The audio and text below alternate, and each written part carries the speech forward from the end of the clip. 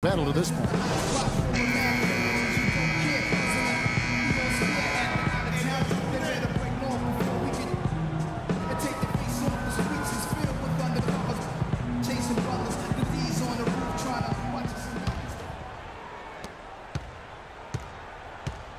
Here's Meeks on the court for the Bulls, getting this fourth quarter started. Butler teams with Dunleavy on the perimeter. Taj Gibson is out there at Mirotic, and it's Brooks in at the one. Jennings can't get it to go.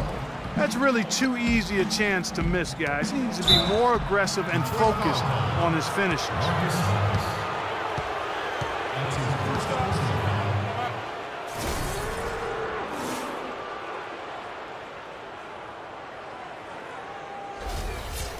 And let's quickly check out the scoring breakdown here for the Bulls.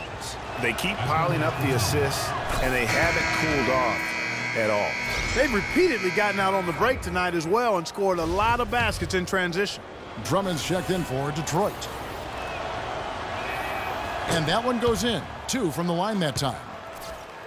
Fans had a hard time finding their way to the stadium last season for the Pistons at the bottom in several home attendance categories last year. Yeah, that's right, Marvin Hill. I know. I mean, they used to go a lot when they were winning championships. But, but to be fair to those fans, it was hard at times to watch the Pistons play. I mean, they could get cold and really struggle on their home floor. And the whistle blows on the backcourt violation. He went over and back.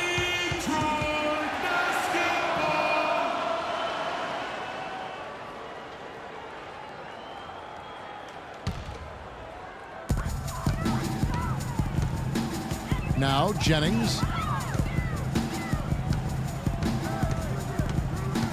To the paint. And it's Drummond with the jam. Vital basket there. This is just the time and really just the situation when he looks to take over. And the officials signal the backcourt violation. Not very careful there. The second half hasn't gone nearly as well for him. He'd only had one before the break in terms of turnovers, but that number's growing as this game progresses. Here's what Chicago's going with right now. Joakim Noah, he's checked in for Gibson. Saul comes in for Mirotic, and Derrick Rose is subbed in for Aaron Brooks. Jennings can't get it to go. Ill-advised shot there, Clark. Yeah, exactly. That was lower than low percentage. And that's out of bounds. Chicago will retain possession. We played just over one minute here in the fourth quarter. And here's Rose. And Gasol now top of the key. To the inside. Here's Noah. Rebounded by the Pistons. Drummond's got rebound number five here tonight. Over in the corner, Meeks. And Butler sends it back. They retain possession. Got that one. The Bulls' lead has been cut to just one point on the basket from Ilyasova. Outside Butler. The offensive rebound. Goes back up. And the shot is good, dropping in off the front of the rim. 14 points for Derrick Rose. The Pistons have gone just 33% from the field in the fourth quarter so far. They are two of six. And no doubt last season the Bulls were clearly preparing for the playoffs. They, they played their rookies but added a lot of playoff seasoned veterans to that roster. And now Doris Burke has an update from the sidelines. Well, over the break, I listened in on Stan Van Gundy's huddle. He told us guys, I know we can do this, fellas. Let's maximize every possession and get after it and just watch. Things will go our way. Kevin?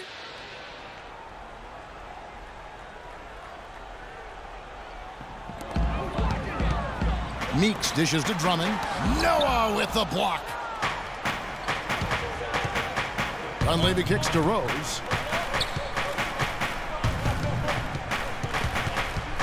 Outside Gasol.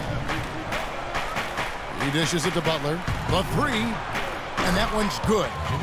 And now a six-point Bulls lead. As you mentioned, the Bulls added veteran leaders last season. Pau Gasol was the notable one. 11 Bulls Clark had playoff experience prior to their postseason run a season ago. And that's invaluable, Kevin, to have that kind of experience. I mean, having Gasol, two-time champion in the locker room, big, as is having almost a dozen guys who understand the intensity and the details that playoff basketball requires. Rose against Jennings. He kicks to Morris. Ilyasova sets a screen for Morris to the inside. Stolen by Noah. Outside Butler. Out to the right wing. Shoots. Rose, no good. Boy, did they need that rebound. I mean, they have struggled on the boards overall, but still with a chance to win. Exactly, because they've made enough plays to keep it close.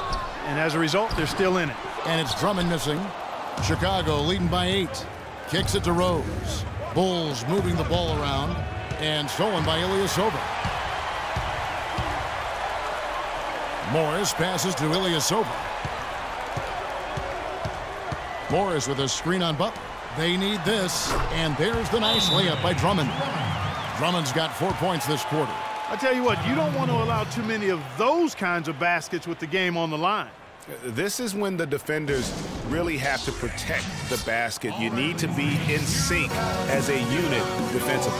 Chicago calls timeout. Yeah, looks like he saw some things out there that, that need to be adjusted and he's going to take a break here and talk it over. Hey, you know, coaches sometimes need a break in the action to rethink and retool a bit. Anytime you, you're in that situation, it makes sense to use the timeout. Doug McDermott, he's checked in for Mike Dunleavy. Butler dishes to Rose. Gasol against Ilyasova, and Gasol gets it to go.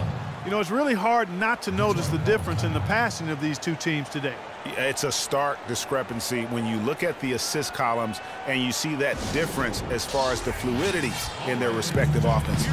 Time called here. The Pistons decide to talk it over.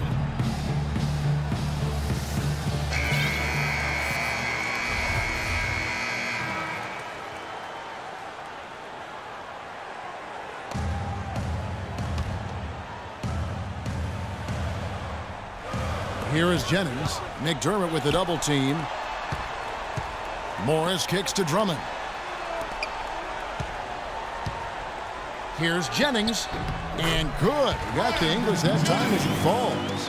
How good is that? I mean, he can make a defender look foolish at times. Rose passes to Noah. Back to Rose. Butler kicks to McDermott. Butler on the way. Noah dishes to McDermott. They get a hand on it. Jennings with the steal. Morris into the lane.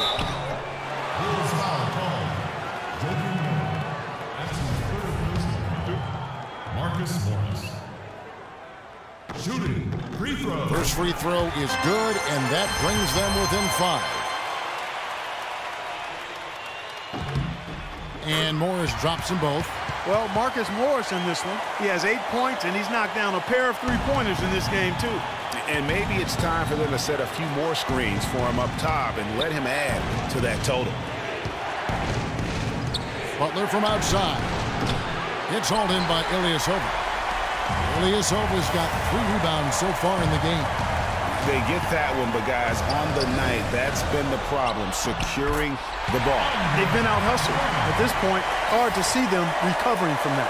I like the way he's not forcing anything, taking advantage of what the defense is giving. He's been a key contributor for them in this quarter. Feeds it to Noah. Back to Butler. The dish to Noah. McDermott kicks it to Noah. Right side Rose. Lets the three fly. It's good from beyond the arc. First three of the half, second of the game. Can he heat up? Now a timeout called by Detroit. They're down by five. 46 seconds left here in the fourth quarter.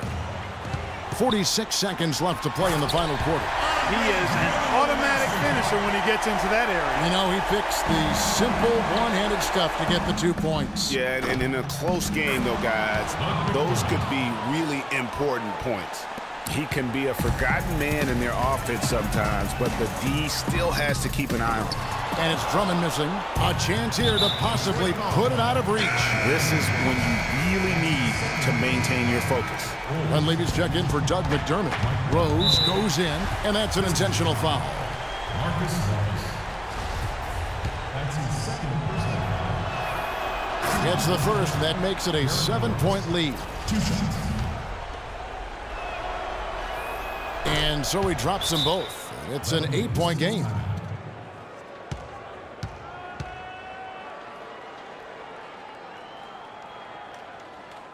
Now a timeout called by Detroit. They're losing by eight. 29 seconds left in the fourth quarter.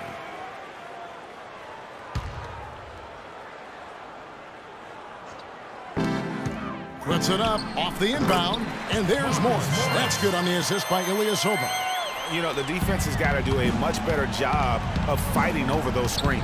And Greg, especially when the ball is in his hands. I mean, come on now. You know he doesn't miss too many open looks like that. And after his last game, really not surprised to see him as hot as he is here tonight. Dishes it to Meeks. Here's Morris. Again, the miss by Morris.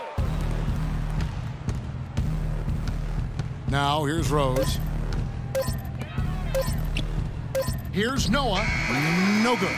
And so it's Chicago winning this one.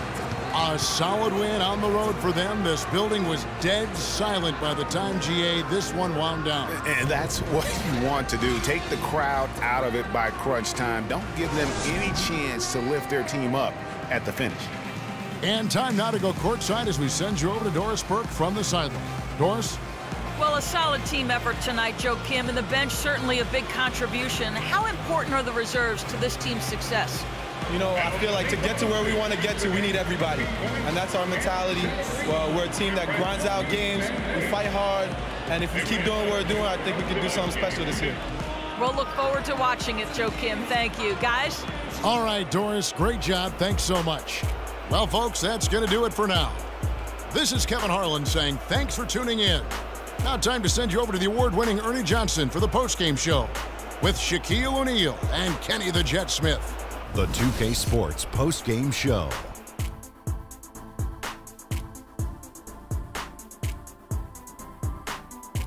Thank you, Kevin. And now let's move on to the presentation of our Jordan Player of the Game, Derrick Rose. The fourth quarter was all him. It was like he couldn't miss, and it was just one basket after another. He was dead on from the field tonight, guys.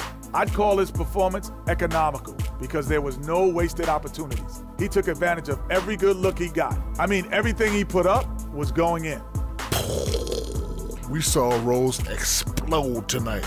His dual threat ability, being able to score or pass equally well, man, that puts him on another level. And that brings us to the end of our broadcast for this evening. For Kenny Smith, Shaquille O'Neal, Kevin Harlan, and our illustrious 2K Sports crew, this is Ernie Johnson saying good night, and we'll see you again soon.